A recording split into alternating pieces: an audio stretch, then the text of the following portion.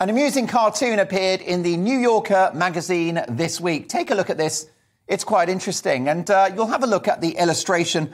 And it's simply a, a group of guests who are on an aeroplane. And uh, they're somehow having an issue with the flight. It's quite a fascinating exchange, I think you will agree. Uh, but there's more to this particular characterization than meets the eye. Because you'll notice that within this message, and take a look at this, there's a guy at the front of the plane. He's got his hand in the air.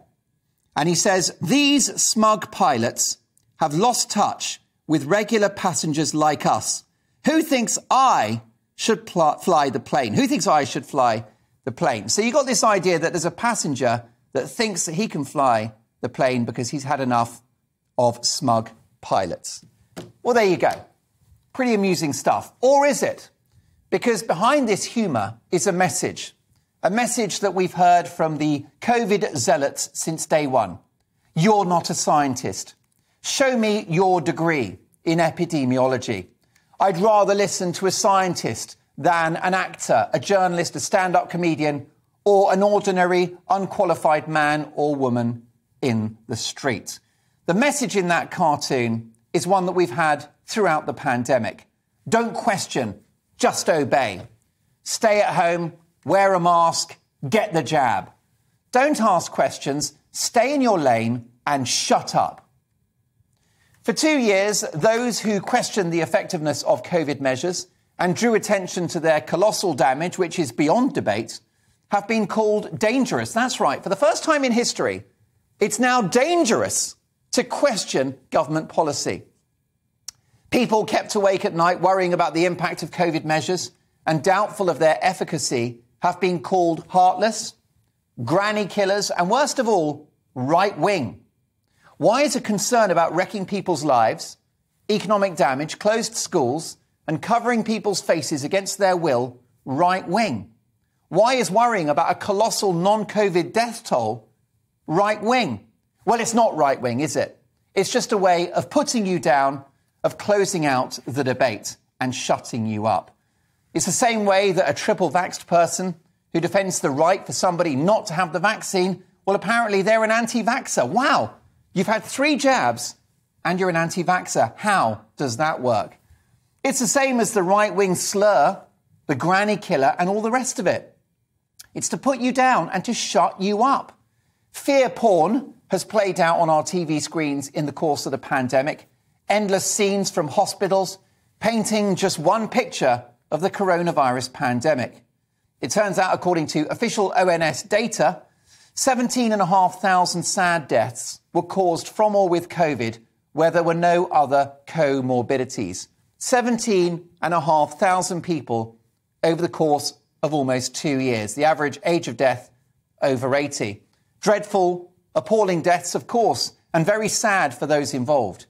But that damning figure is on a par or lower than what we might see from a bad flu season.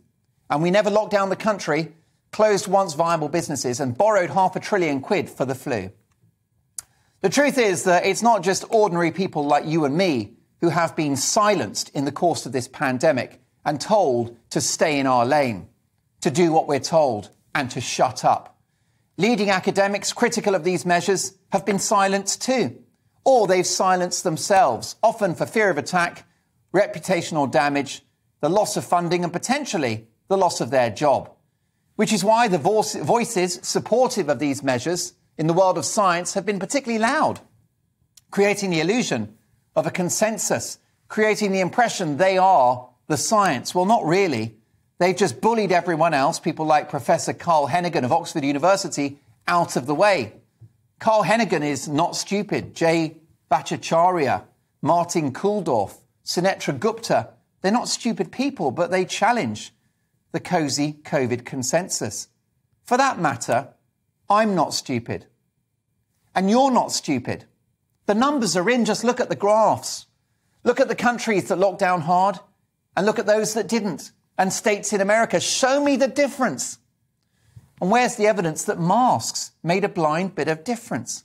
The surgical and cloth masks, of which so many virtue signalling ideologues are fond, aren't even accepted in Austria or Germany, they don't accept them.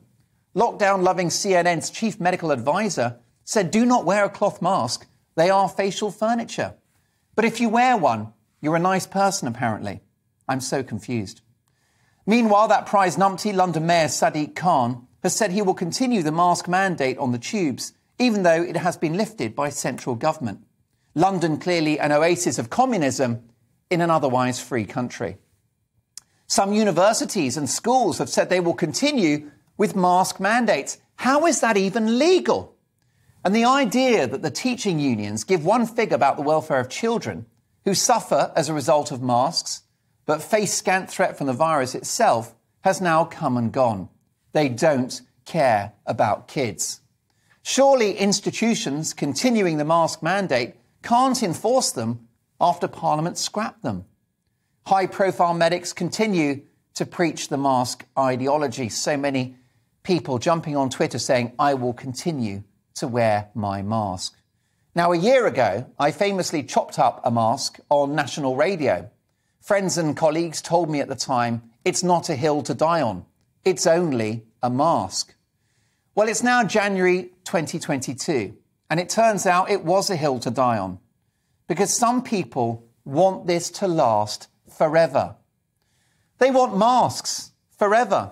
They want social distancing forever. They want work from home orders forever. They want fear forever. They want control forever. That's why it matters. That's why it's all a hill to die on.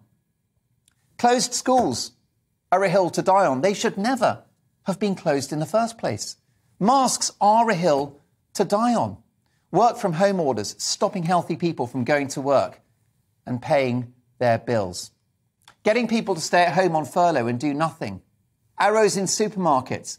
Those pathetic glass perspex screens. Endless hand sanitizer, which was debunked ages ago. It's all a hill to die on. Every single COVID measure you can think of has got to go. Lock, stock, and barrel now.